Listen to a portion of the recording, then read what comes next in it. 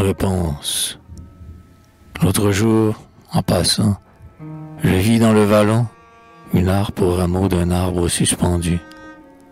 Le soleil lui versait comme des jets de plomb, et nul vent ne touchait sa corde détendue. Un silence de mort pesait sur l'étendue. Mais soudain, un zéphyr, caché dans un buisson, s'en vint tourbillonner sur la harpe éperdue. L'instrument divin rendit encore un son. Ami, mon luth gisait, frappé par la souffrance. Dans son désert brûlant, nul souffle d'espérance ne caressait mon cœur navré par les chagrins. Mais hier, votre muse, harmonieuse brise, effleura de son vol ma lyre qui se brise. Je fredonne encore mes modestes refrains.